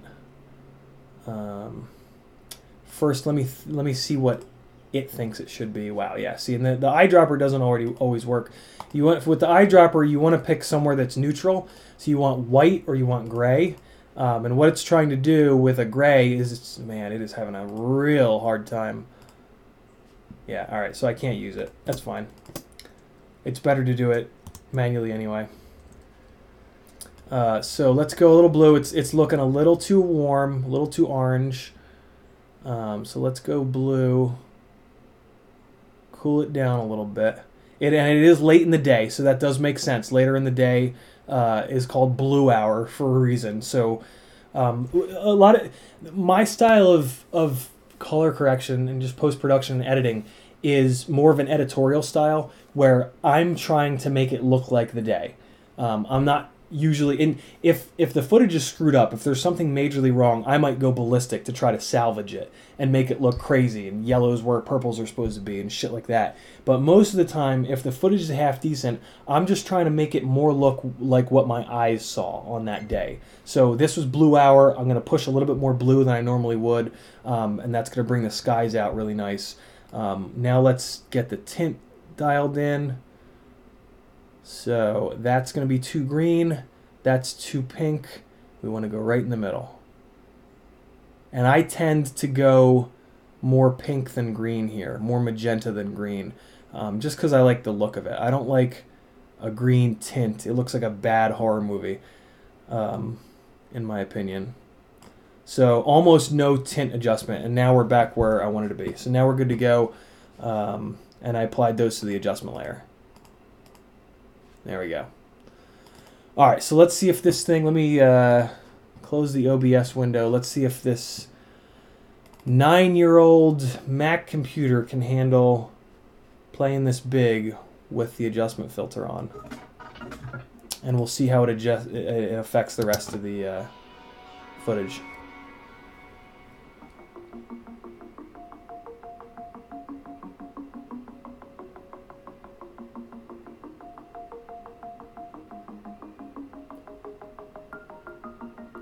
Might actually be a bit much. Might be a little bit too contrasty for me.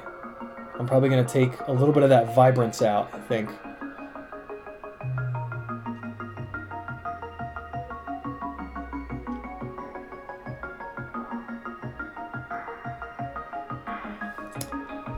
Okay, so here is an example of when you get the black slider too low.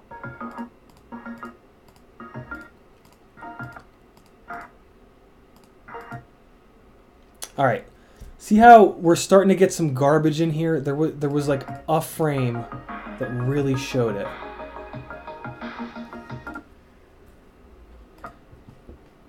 It's one of the problems with video. This is one of the reasons I really love shooting stills is you just make the adjustments and you're done.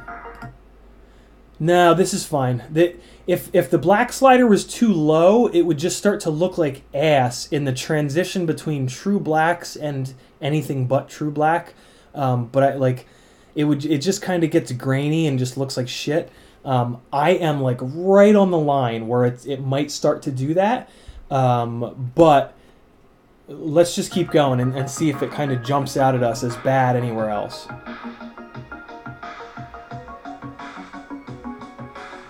Skip past this bullshit.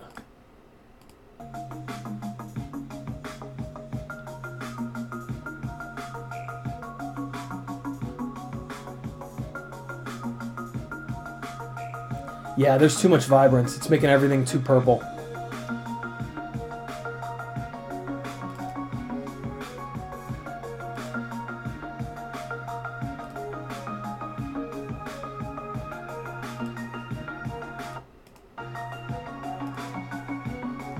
That's a little better.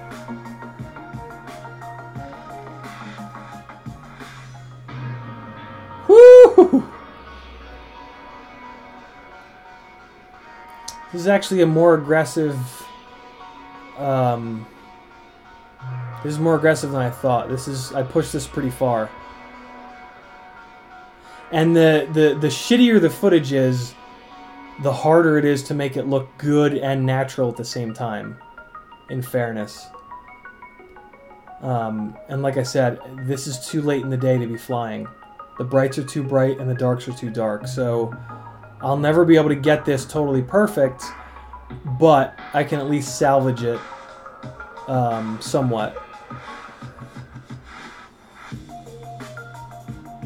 This isn't bad. It's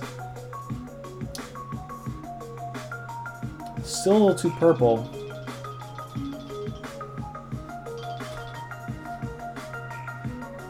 But I might actually leave it.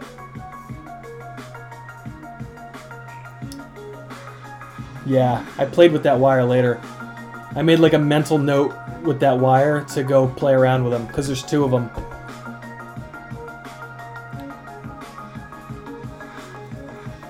This will be slick once this is synced up to the uh, to the music.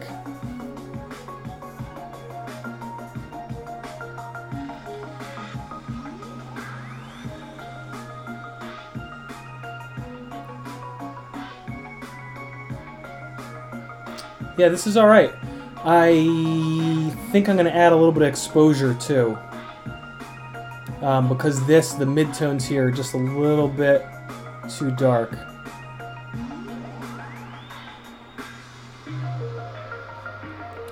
All right, cool. So that's pretty good. Um, let me add a little bit of exposure. Uh, I really noticed it towards the end here.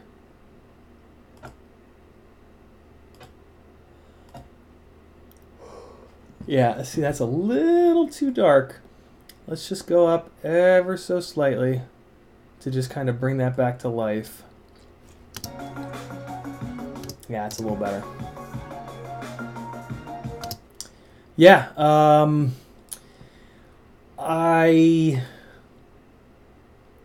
I could push a little bit of those purples into blue, but still not super confident how to do it here in the hue saturation luminance secondary.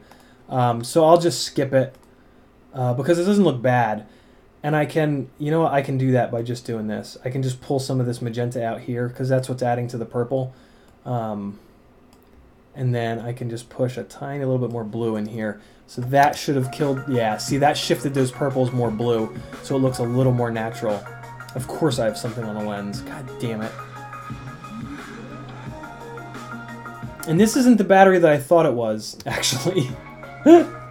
uh, So I guess this won't be a one battery edit. Or maybe it will be if I find that right battery. I copied the wrong one from the uh, the folder. That's annoying.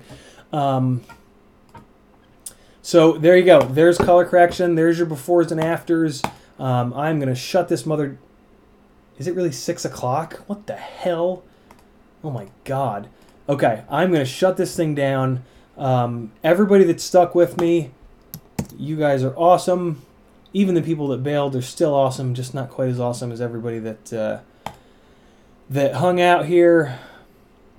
Let me show you guys. Here's your here's your present for staying. Let me find that fire battery, and I'm gonna play it for you guys. Um, because it was interesting. So it was in a folder called Untitled. I like completely forgot about it, and I think it was over here. Where the hell was it? It was a, file called? Un, oh, there it is. Untitled folder. It's sitting on my desktop. Um, okay, so it was towards the end of the day. Hold up, guys. Let me just find it real quick. It'll be worth it, I promise. No, that's the next day. That's the next day. That's the next day. Come on, where are you? Where are you? That's not it. That's not it either. Uh, must be at the end of this folder. Here we go, here we go, here we go. Okay, so I copied 4305. I think it was maybe 4306.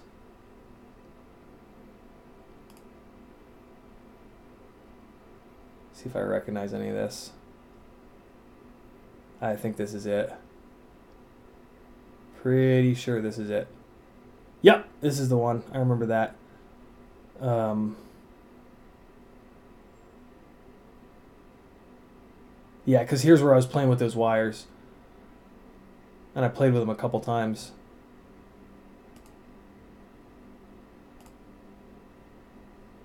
Oh no, this isn't the one. This isn't the one. Is it the very last one? It was like damn near dark in the last one. No, was it 04?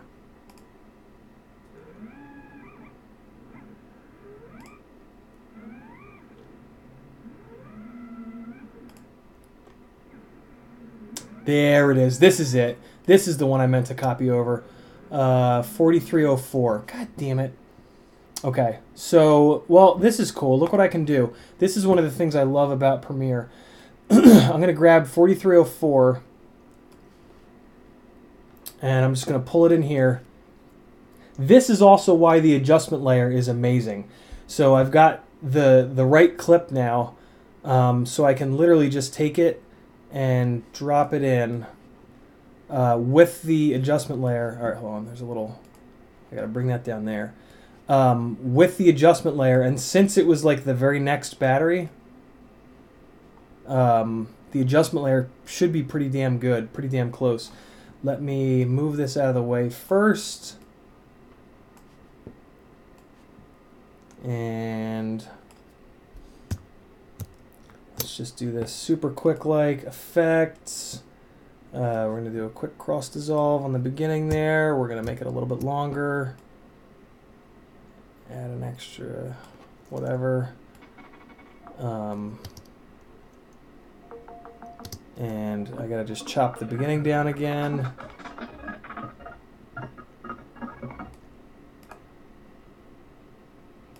Oh man, she's struggling. Computer's struggling. Come on. Media Player is also up uh, creating the proxy, which is the main reason why it's uh, it's struggling so bad right now. But there we go. So there's all right. Here's right before I launched. Yeah, there we go. Okay. Oh, it's bad. It's so bad.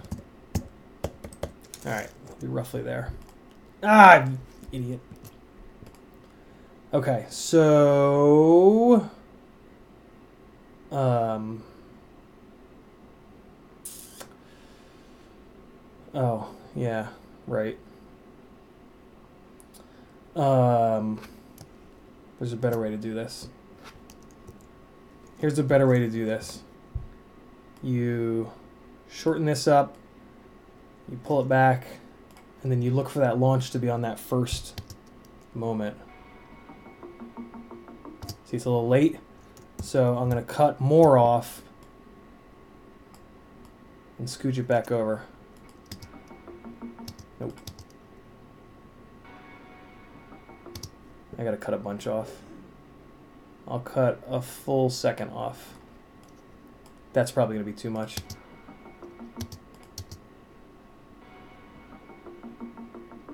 Oh, oh, I'll put it on that flip. That'll be cool. Yeah, yeah, yeah, yeah. The old gap it flip cut. Ah, come on. Come on, computer. Play it smooth so I can see what the hell's happening. Nope, it's still late. That should be perfect. Alright, come on. Let's go all the way down to 1 8th quality. Now it's too early. God damn it. Alright, so 16 was too much. So let's take 10. And that should be it. Yep. Uh, and I'm going to take a tiny little bit more because YouTube does fuck the sync up a little bit. Um, so you always want the video to chase the audio. You want the video to be late, not the video to be early. You lose all impact when the video is too early.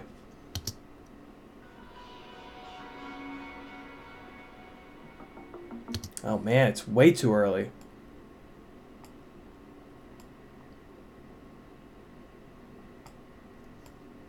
That was weird.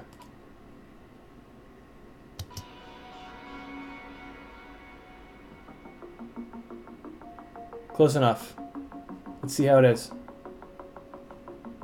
Oh wait, so the adjustment layer is off, boom. And it's not quite perfect because the sun changed. It's a little too, now it's a little bit too blue. So let's go in here and we're gonna take a little bit of the blue away. And now we're back. It's also a little bit too bright. So we're going to fix that.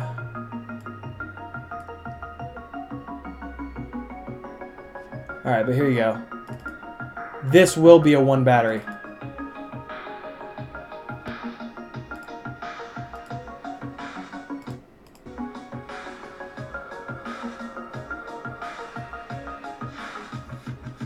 This is this is like the best I've flown, maybe ever.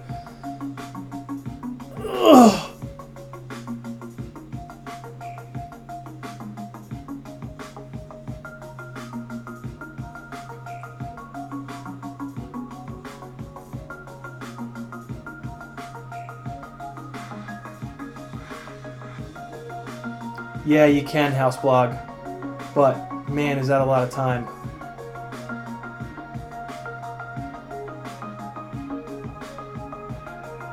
I had to get back through those wires one more time, just to prove it wasn't a fluke. Look at this though, man. I got fucking spicy up in these trees.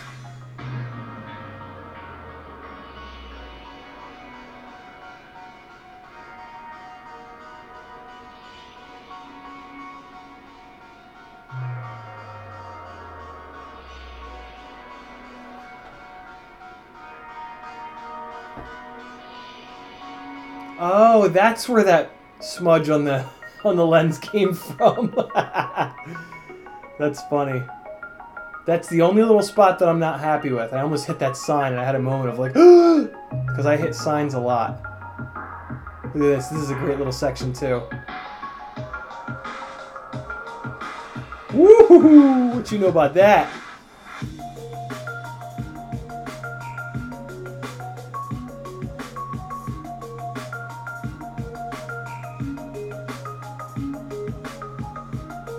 Uh,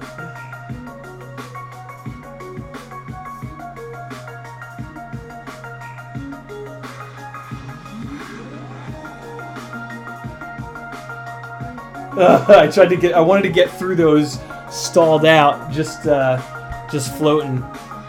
I forgot there was a crash in here. Shit. All right, so I guess this won't be a one battery because of the crash. But I got some good stuff from that uh, from that other battery that'll be fun in there. So there it is, shutting this thing down. Thanks for coming, everybody. Um, hit the description for the link to my Patreon um, and those uh, affiliate links. Hit, see if you can use them. I'm uh, I'm interested in what happens. I uh, I need to learn about that for sure. Um, I think that's about it. I'll be on again tomorrow night at 10 o'clock Eastern. Um, you guys rule as always. And uh, yeah, I'll catch you on Patreon. Later, everybody. Why am I saying goodbye? OBS is like mysteriously vanished. There it is. Okay. For real this time. See you later.